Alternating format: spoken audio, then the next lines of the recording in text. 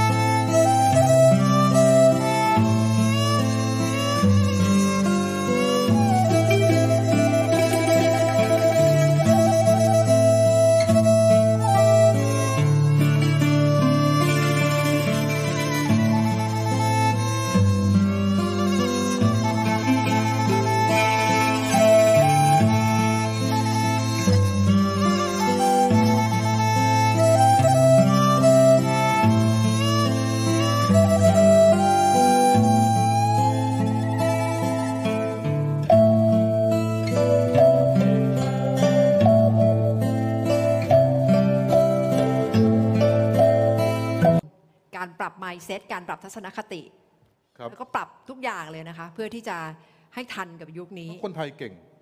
คิดจะทำก็ทำได้ เป็นประเทศเดียวนะครับ ที่ไม่เคยตกเป็นประเทศสลาด คือเพราะว่าความเก่งอะไม่ไม่ต้องใช้ไม่ใช่ต้องใช้กำลังไปสู้นะ ความเก่งเนี่ยมันทำให้เอ่อทำให้รอดเออวิกฤตของชาติได้ แต่เสียอย่างเดียวอะเราต้องมีวิกฤตเราถึงจะทำไงเราต้องมีวิกฤตว่า สายสินขาดโอ้ยเพนวิ่งเอาตัวตายเดี๋ยวค่อยทำแต่ถ้าสายสินไม่ขาดก็นั่งกันอยู่อย่างนั้น คือตอนรัชกาลที่ห้าสายสินจะขาดแล้วเพราะว่าอะไรอังกฤษจะเอาไทย อังกฤษจะเอาสยาม ฝรั่งเศสจะเอาสยาม มันมีวิกฤต มีเดดไลน์เนี่ย จะรีดพยพลังของชาวสยามได้ แต่เพิ่มไม่มีตรงนี้แล้วเนี่ย เราจะชิวๆ เราจะหลั่นล้า เราจะสบายๆอเจ้ากัน เพราะฉะนั้นถ้าเข้าใจคนสยามแบบผมเข้าใจทีมงานของผมเนี่ย ผมใส่วิกฤตให้ทีมงาน ไปทำไปชนะ พิสูจน์รุ่นใหม่จะออกอาทิตย์หน้า เป็นหมอให้ได้ รีบคุยกับราชกระบังเพิ่มทำอีกเอาสิ่งเรื่องการแพทย์เข้ามาอีก อันนั้นแหละคือคือสิ่งที่ผมอยากจะเห็น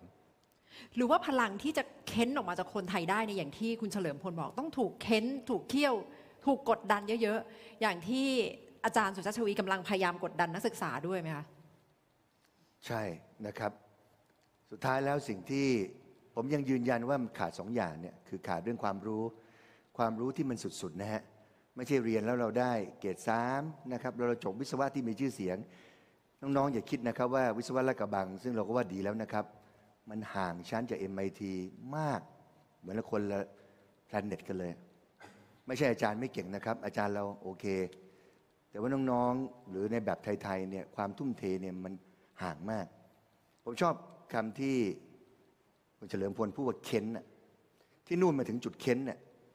ตอนที่พี่เรียนที่ MIT นะไม่รู้ว่าเพดานอยู่ตรงไหนไปแล้วอะมันเค้นทะลุไปเลยอะพอเค้นไปปั๊บมันจะถึงอีกจุดหนึ่งว่า โอ้โหกำลังสติปัญญาเรามันสามารถสร้างขนาดนั้นได้ แต่ถ้าเกิดเราไม่ถึงจุดนั้นไม่สามารถจะชนะอะไรได้นะครับ อันนี้หนึ่งก็ไม่ถึงสองเรื่องเค้นของ fighting spirit ประเทศไทยอ่อนแอมาก วันนี้ถามแล้วแข่งกับใครฮะอย่าตอบนะฮะแข่งกับตัวเองฮะ ถ้ารู้ไหมว่าเกาหลีมาถึงวันนี้ได้ เพราะคำพูดคำเดียวคำพูดคำนั้นคือ เราจะแพ้ญี่ปุ่นไม่ได้ รถญี่ปุ่นมันดี เราไม่ใช้อะเราจะสร้างเอง เกาหลีไม่มีน้ำมันสักหยดหนึ่งซื้อเทคโนโลยีนิวเคลียร์มาปัจจุบันเป็นผู้ส่งออกเทคโนโลยีนิวเคลียร์โซนี่เหรอตอนเด็กๆโอ้โหใครมีทีวีโซนี่นี่โม้ได้ทั้งตำบลแพงกว่าอื่นเขา ตอนนี้เป็นยังไงล่ะครับ ใจมันสู้อะเอาจริงอะแต่เกาหลีเรียนหนักใช่ไหมฮะเด็กเกาหลี ทั้งใจใจสู้เรียนหนัก พวกนี้มันเกิดขึ้นไม่ใช่มหาวิทยาลัยนะฮะมันเกิดขึ้นทัศนคติของประเทศโดยรวม มาเลเซียเหมือนกันวันนี้ ยินดีกับทุกท่านนะครับ ยินดีกับน้องๆนะครับ มาเลเซียไม่ใช่คู่แข่งประเทศไทยต่อไปครับ ชนะประเทศไทยทุกแคตตากรีไปแล้วครับ ยินดีด้วยฮะ ก็เหลือไม่กี่ประเทศที่เราจะแข่งกันไปด้วยนะนะฮะมาเลเซียไม่ได้สนใจแข่งเมืองไทยหรอกครับ มองข้ามมาลากาไปเห็นสิงคโปร์โปรเตกรเองไม่มีอะไรเลย ไล่ออกไปจากประเทศอัวตอนนี้เองรวยกว่า ไม่ยอม อยากจะแข่งสิงคโปร์ตอนนี้ก็ยังไม่ชนะสิงคโปร์นะครับ แต่ความคิดที่จะสู้สิงคโปร์ชนะไทย